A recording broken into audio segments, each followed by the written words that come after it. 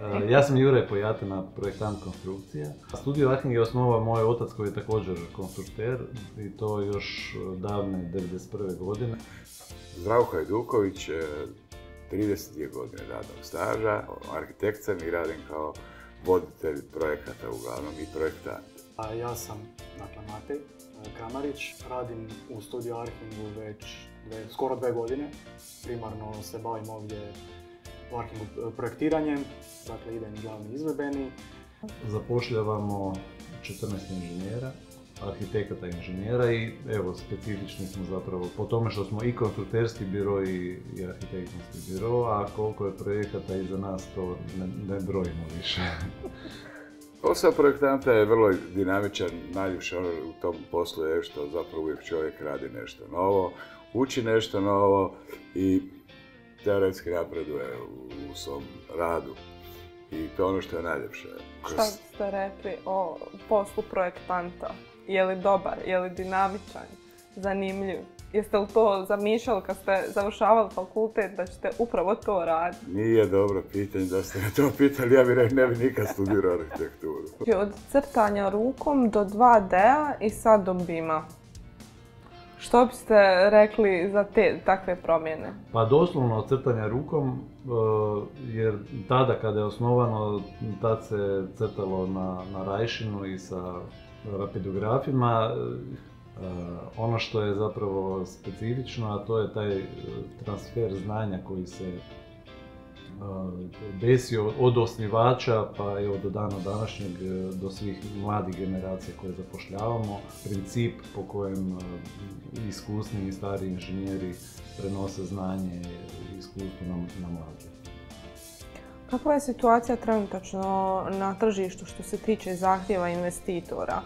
Jel vam se već počelo događati da oni zahtijevaju da se radi u BIM načinu rada, u BIM okruženju ili se još uvijek niste susreli s tim? Kod većih investitora je to postalo zapravo pravilo. E, da se i u projektni zadatak i u, i ugovor, odnosno u e, zahtjevu za ponudu se, se zahtijeva rad, rad u BIM gdje mi e, prilažemo licence koje imamo ovaj, na natječajima za projektiranje, bilo da je to privatni ili javni naručitelj. Problemi su danas ti što su mi danas projektanti, s obzirom da imamo digitalne alate, onda svi investitori misle da mi možemo napraviti sve u jako kratkom vremenskom roku, a ne možemo. Tako da je puno stresa kroz posao, ali posao je 32 godine radnog iskustva. Što je se promijenilo od prve godine kada ste počeli raditi pa evo do 2020.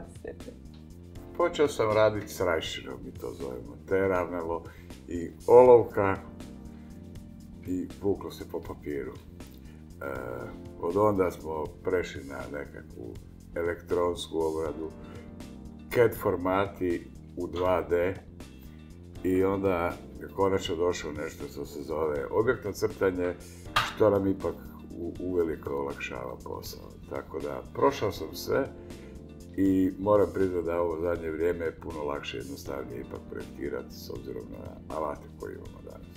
Od 90. godina ste korisnik Alplana? Krajem 90. godina sam počeo koristiti Nemeček se onda zvao Alplan. E, tako da, da, jedan od prvih korisnika u Hrvatskoj. Jel vidite napredak? Pa napredak se apsolutno vidi. E, e, alat je, svakim novom inačicom dobijemo nešto novo i možemo napraviti nešto novo.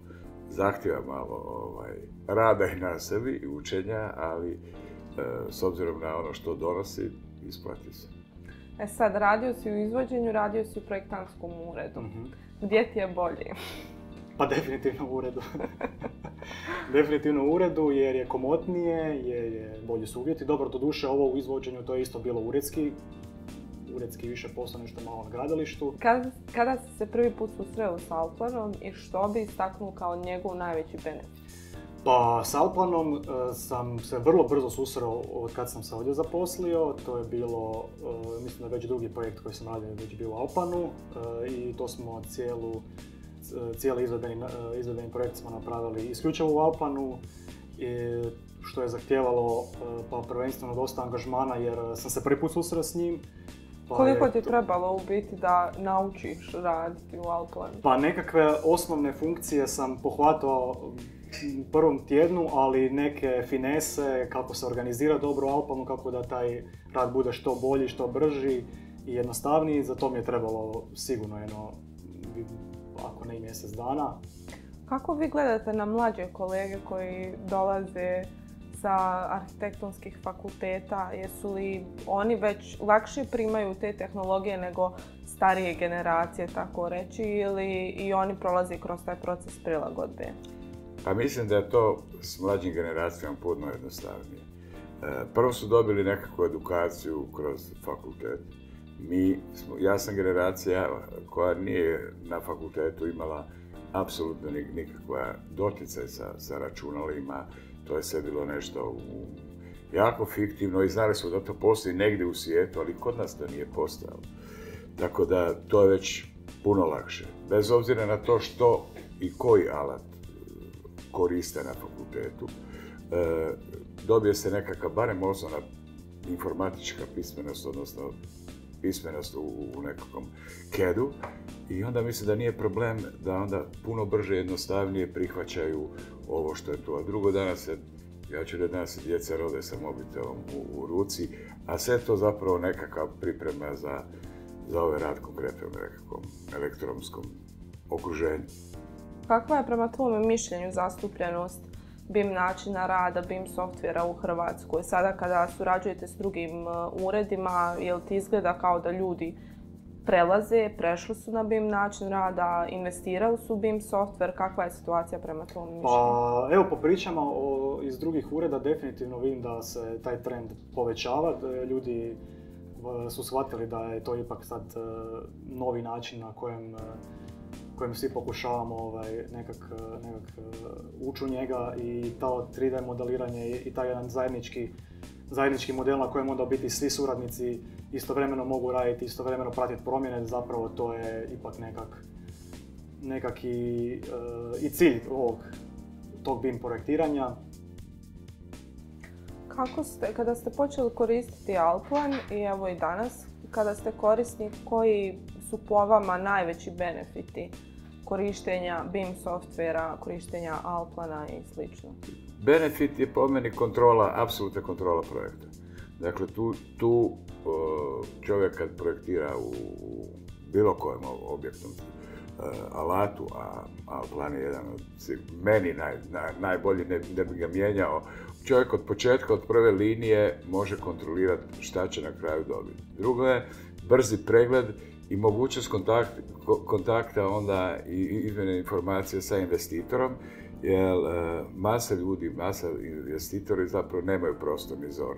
2D crteži ne znači gotovo ništa. Svi traže nekakvu vizualizaciju, brzo pokazati investitoru, već od kroki, skice, ona popriva svoje 3D oblike i puno je lakše komunicirati sa investitorima i onda investitor može shvatiti šta će dobiti zapravo kao konačni rezultat našeg projekta.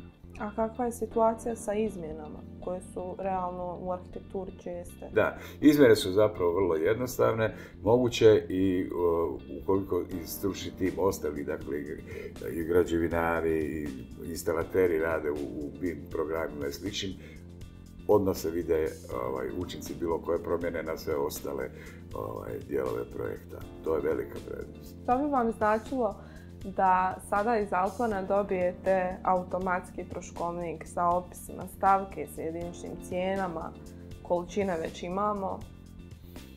To bi bilo idealno, to bi bilo fenomenalno. Čovjek bi onda puno lakše i ležernije e, radio. Je li vam naša tehnička podrška pomogla tijekom vašeg rada u Alplanu? Pa svaki problem, nema posla u kojem nema, ne, ne dođe do nekakvog manjeg problema ali moram priznati da evo, mogu, mogu pohvaliti službu, vrlo brzo reagiraju i ja uvijek dobijem zapravo ono što mi treba u kratkom, kratkom vremenskom intervalu. A što vam nedostaje da bude savršeno? Ja, savršen posao ja mislim da ne postoji, ali savršen posao je onaj koji, koji čovjeka veseli. Dakle, to je ono što je bitno po meni, jel? Dakle, savršen posao, posao koji čovjeka veseli, da čovjek ide e, na posao sa seljem, a ne sa grčem u želucu. Koja vam je ono, najdraža stvar u projektiranju?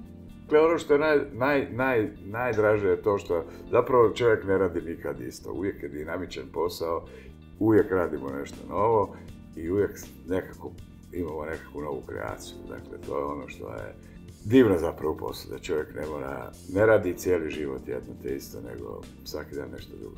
I vrijeme provedeno na poslu, bare meni, prođe u tren i već je, e, ovaj, već je kraj radnog vremena i ide se kući. Što mislite koji je idući korak u BIM načinu rada?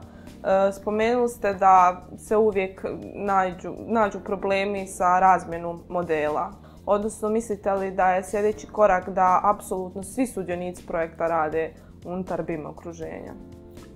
Apsolutno, apsolutno. Znači, ukoliko svi, svi sudionici, dakle, projektanti svih struka koje sudjeluju na, na, na projektu rade u BIM-u, onda je puno lakše raditi. Dakle, ono što je posao, recimo, uglavnom moj najveći posao je, dakle, vođenje projekata. Znači, moram iskoordinirati sve struke na nekakvom projektu. Kad, postoje, kad radimo dosta složenih projekata, tipa data centara i nekakvih sličnih stvari, gdje, gdje bude po 10-12 biroa koji su unutar, unutar projekta. I kad bi svi koristili BIM, onda bi kod onog, onog mog zadnjeg završenog preklapanja instalacije, preklapanja sve tehnologije koja je, onda bi to bilo puno transparentnije i puno jednostavnije da svi koristimo dakle BIM alate i da onda to možemo jednostavno preklopiti i iskontrolirati onaj završni dio u samom programu.